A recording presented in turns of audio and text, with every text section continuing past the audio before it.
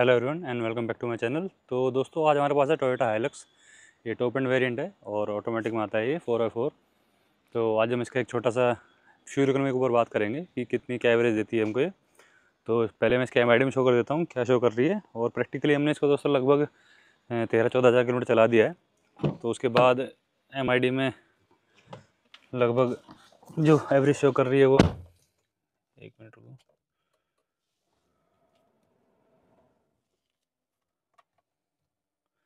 देखो nine point zero के M P L मतलब नौ की फ्यूल इकनॉमी शो कर रही है और लगभग इतनी ही ये हमको दे रही है फ्यूल इकनॉमी जो है। और ये रीसेट वगैरह करने के बाद भी ये नाइन के आसपास ही दिए। पहले जैसे गर्मियों में लॉन्ग ड्राइव वगैरह में पे जाते थे तो अराउंड नाइन के आसपास ही देती थी अब जैसे सर्दियाँ आ गई हैं तो हो सकता है कि दस के आसपास कहीं ना कहीं हमको फ्यूल इकनॉमी मिल जाए, क्योंकि एयर कंडीशन का काम थोड़ा कम हो जाता है। और बॉम्बे तक जैसे हम गए थे तो स्पीड काफ़ी ज़्यादा थी दोस्तों का वन फोर्टी वन फिफ्टी तक हमने स्पीड की थी। मतलब तो उसमें अपने आप ही जो एवरेज है वो घट जाती है। तो कहीं ना कहीं वो भी एक रहा इम्पैक्ट वैसे प्रैक्टिकली अगर हम देखें तो लगभग दस की या फ्यूल इकोनॉमी दस से साढ़े दस की इजीली निकाल सकते हो।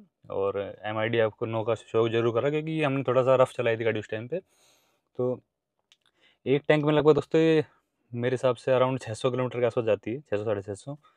तो ये एक पूरा मेरा एक्सपीरियंस था इसको पंद्रह हज़ार चलाने के बाद कि ये नौ, दस की फील में आपको दे सकती है और अगर आप हाईवे पे चलाओगे लगभग वन टेन हंड्रेड के आसपास तो आराम से ये आपको थर्टीन तक भी फ्यूल इकोनॉमी दे देगी, पर आपको क्रूज़ करना पड़ेगा हाईवे के ऊपर।